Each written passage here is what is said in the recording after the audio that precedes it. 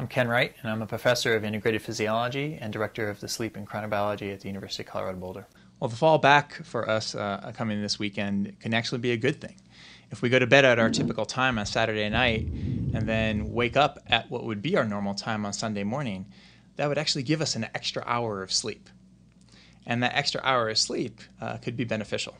As a society, uh, many adults in, in, the US don't get the recommended amount of sleep, which is a minimum of seven hours. And so, if on this fallback weekend, people get that extra hour of sleep and bring themselves into that seven hour range, that seems to be associated with a reduced risk in, in, in, this case of heart attacks. So, on the flip side, when we lose that hour of sleep in the spring, not only do we have a 5% increased risk of heart attacks, but there's an 8% increased risk of strokes and a 17% increased risk of dying at the wheel on the highway.